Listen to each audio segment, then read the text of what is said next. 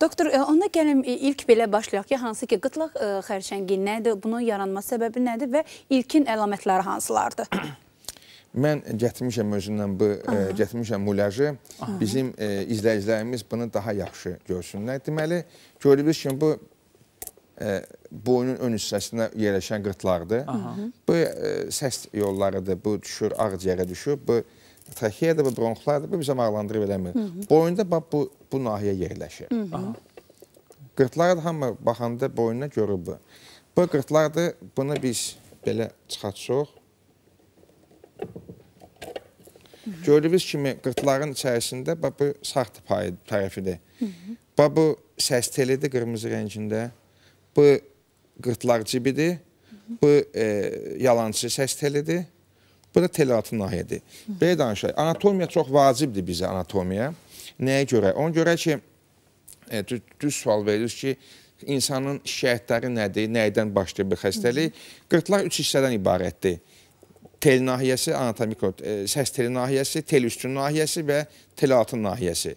Əgər hansısa bir şiş, hansısa bir proses əməl gəlirsə tel nahiyəsində ən birinci xəstənin e, şikayətləri səsin dəyişməsidir, səsin batmasıdır, səsin kallaşmasıdır və s. və s. Əgər şiş yerləşirsə, telüstün nahiyədə yerləşirsə, onda insanların, e, xəstənin şikayətləri boğazda olan diskomfortdur, boğazda olan ağrılardır və e, udqunma aktının çətinləşməsidir. Bəzi vaxt udqunanda məndə narahat oluram, udqunmağım normal keçmir.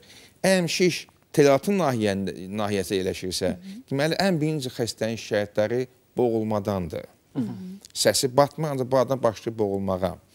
Və e, mən e, bir yaxud dedim ki, bütün xərçənglər dörd dənə mərhələdən ibarətdir.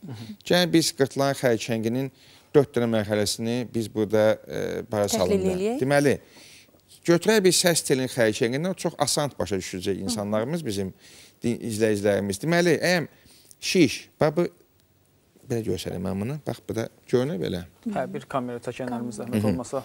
Baxın, bax bu səs telidir bizdə. Əgər şiş səs telin bir hissəsini tutursa, bir hissəsini, ya üçdə birini, ya yarısını, onda birinci mərhələdir. Əgər şiş bütün səs telini tutursa, ancaq ön nahiyədə o birisi tərəfə keçmirsə, ya arxadan, ya qabaqda keçmirsə o birisi nahiyə, bəli, bu ikinci mərhələdir. Əgər şiş səs telindən keçir, o bir səs də keçirsə, ancaq şiş qırtlağın içindədir, bu üçüncü mərhələdir. Əgər şiş qırtlaqdan kənara çıxırsa, Bu dördüncü mərhələdir. Ən axırıncı mərhələ ölüm mərhələsidir. Yox, yox, yox, ölüm deməyək. Biz bu yerli olaraq dördüncü mərhələdir. Axı bundan başqa bizim metastazlar da var axı. Aha. Xəstənin boynunda, xəstənin boynunda e, limfadünlər var hər iki tərəfdən. Əgər o limfadünlər zədələnirsə, əgər zədələnmirsə, bu e, limfadünlər orada yoxdur, metastaz yoxdur. E, dördüncü mərhələ e, adətən nə vaxt olur? Əgər şiş qırtlağın kənara çıxırsa, ya e, ya ki, boynun hər iki tərəfli metastazlar var, ya da ki, uzaq metastazlar var. Aha. Bax, bu üçü də dördüncü mərhələyə aiddir. Dördüncü A mərhələ şiş kənara çıxırsa və boyun iki tərəfli metastazlar var. Əgər uzaq metastazlar və dördüncü B mərhələdir. Bax, dördüncü B mərhələ Onu biz e, müalicə olunmur adətən. Onun düzdür, kim, xəstə kimyoterapiya alır və s. və s. Adətən o müalicə olunmur. Ancaq əgər xəstənin boyunda metastazlar, iki tərəfli metastazlar varsa, ya ki, kənara çıxırsa, o xəstəni yenə də biz əməliyyat eləyə bilirik. Əvvəl kimyoterapiya alır xəstə, sonra xəstə e, lənqətləmə eləyir, qırtlarını çıxardırır və s. və s.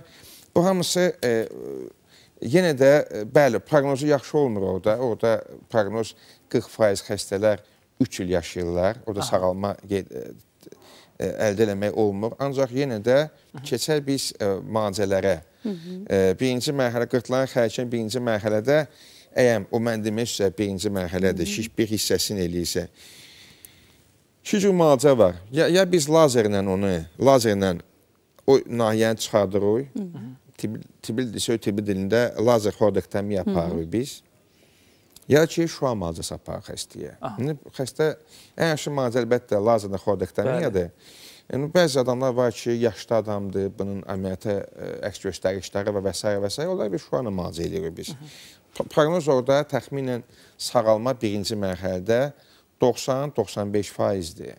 Baxın nə qəşəng rəqəmlərdir. var. 90. Gözəl rəqəmdir. Bu xərçəngdir. İndi izləyicilərim bu dişi şişidir məsəl üçün. Ancaq 90-95 faiz sağalma əldə edə bilirik biz. Əm ikinci mərhələdirsə, səs tel tam tutursa, yenə orada biz baxırıq, o əlbəttə individual baxırıq biz xəstəyə. Biz xəstəyə lazerlə yenə də biz bunu yığışdıra bilərik ya da ki, ön e, boyun ön nahiyəsindən kəsik, kənardan e, bu qırtlaq belə qabaqdan açılır, buradan belə belə açılır qırtlaq və qabaqdan e, öndən biz onu operasiya eləyirik, tam çıxardırıq. Ya ki, yenə dediyim kimi şua maddəsi aparılır xəstəyə. İkinci mərhələdə orada sağalma 80-90 faizdir. Yəni gözəl rəqəmlər və xəstənin qırtlağı qalır yerində.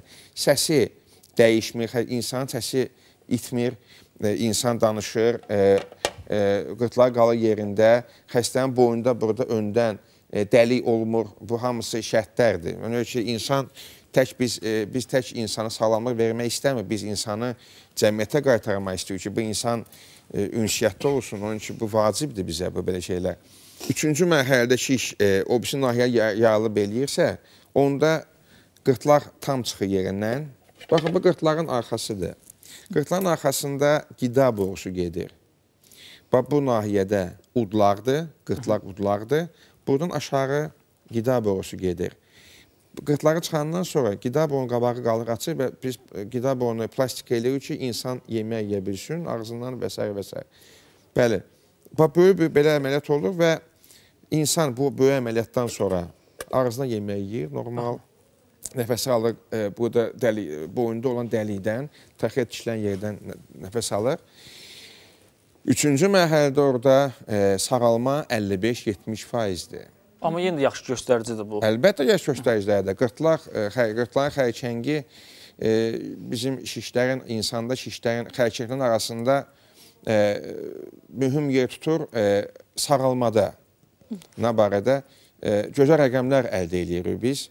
E, məsəl üçün 20 bundan əvvəl xəstələrimizin 80-90 70-dən çox faizi gəlirdi bizə 3-cü, 4-cü mərhələdə. 3-cü, 4-cü mərhələ gəlirdi. Birinci, ikinci mərhələdə bizə 5-10 faiz xəstə gələr ya gəlməzdi, məsəl üçün. İndi axırıncı bu 10, 10 ildə, 15 ildə bir də deyirəm, bizim e, işlərimizə görə, marifləndirməyə görə, insanların biraz şuurları açılmağa görə, xərçəngdən qorxmadığına görə bizdə bu birinci, ikinci mərhələdə xəstələrin sayı 50 faizə çatıbdır. Bu gözəl rəqəmdir Bəli. və insanlar mən həmişə deyirəm xəstələrimə ki, xərçəngdən qorxmaq lazım deyil. Xərçəngi bütün xronik xəstəliklər kimi vaxtında üstünə düşüb və onu müalicə eləmək lazımdır. Xərçəngdən qorxmaq lazım deyil. Xərçəng topus xəstəliklər kimi sağlam bir xəstəlikdir.